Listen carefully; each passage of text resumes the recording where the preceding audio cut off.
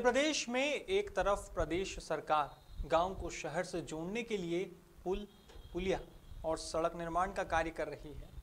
वहीं दूसरी तरफ़ प्रशासन ने नसरुल्लागंज में अवैध परिवहन के नाम पर जन सहयोग से बनी अस्थायी पुलिया को जेसीबी से तोड़ने की कार्यवाही की है। बताया जा रहा है कि यह पुलिया देवास ज़िले के खेड़ा खेड़ी और नया गाँव को छिपानेर से जोड़ती थी। अब ऐसे में ग्रामीण बेसहारा हो गए हैं। इस मामले में जब मीडिया ने पूछताछ की तो गाँव वालों ने बताया कि यह पुलिया देवास ज़िले के खेड़ाखेड़ी और नया गाँव को छिपानेर से जोड़ती थी।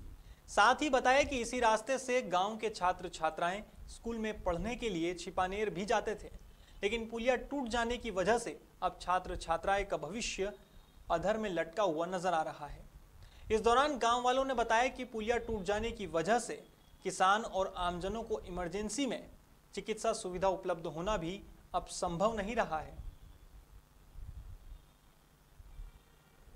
हम यहाँ से दो किलो, दो तीन किलोमीटर आगे छिपेनर स्कूल जाते हैं और हमारे साथ पंद्रह बीस लड़की भी जाती है और यहाँ पे रास्ता खोद दिया गया है। अब हम यहाँ से कैसे जाएँगे और सीहोर जिला की माइनिंग ने यह रास्ता खोदा है। जो हमारा रास्ता है ये खुद दिया गया है सीहोर प्रशासन ने। अच्छा ये कहाँ से कहाँ जाता है ये रास्ता? ये रास्ता भाई साहब पीपलिया से सीधे निकलता है छिपानेर। रोड छिपानेर से नसुल्लागंज भोपाल कहीं भी जा सकते हैं इस रास्ते से। आम रास्ता है और काफ़ी पुराना रास्ता है ये।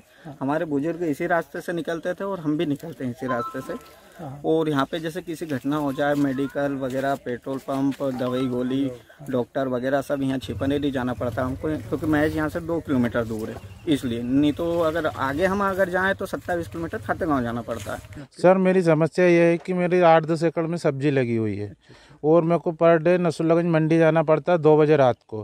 प्रशासन ने यहाँ पे ये नदी खोद दी है और मेरी सब्ज़ी चल रही है बहुत भयंकर तरीके खेत खेत मेरा बस नदी से लगा हुआ ही है। और ये आपने मेरे संज्ञान में आज लाए हैं। और बेटे बेटियाँ मुझे आज सवेरे नौ बजे मेरे घर पे मिलने आए थे। लगभग 300 से 400 लोग आए थे। तो मैंने आज उनकी सब बातें सुनी और मैं प्रशासन से इसके बारे में बात करके और वो आवागमन का रास्ता चालू करवाएँगे। वैसा एक बात समझ से परे है, रघुनाथ सिंह भाटी, प्रदेश का, बीजेपी का बड़ा नाम है। और उनके उनके जो है क्षेत्र में एक प्रशासनिक अधिकारी इस तरह से आके जो है पुलियाएँ तोड़ जाती है, जनसहयोग से बनी पुलियाएँ। आपको नहीं लगता कि प्रशासन अपने हाथ पैर से खुद चलने लगी है?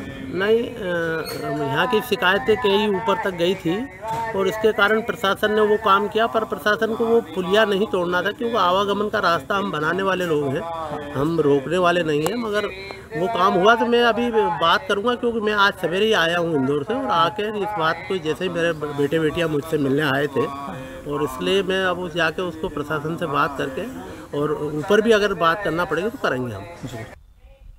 ग्रामीण जन बताते हैं कि वह बीजेपी के दिग्गज नेताओं सहित अधिकारियों के चक्कर लगा लगा कर थक चुके हैं।